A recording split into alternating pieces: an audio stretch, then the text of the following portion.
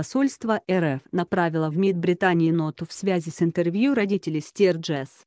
Посольство России в Великобритании направило в МИД Соединенного Королевства ноту в связи с публикацией в газете Guardian интервью родителей скончавшейся в июле прошлого года в городе Эймсбери британки Дон Стерджес.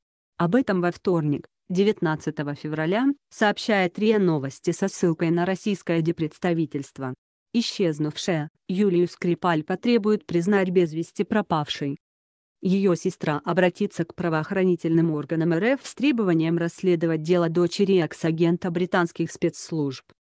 Отмечается, что в интервью родители Стерджес обвиняют правительство своей страны в проведении нетранспарентного расследования случившегося. Они также заявили, что считают британское правительство причастным к гибели дочери.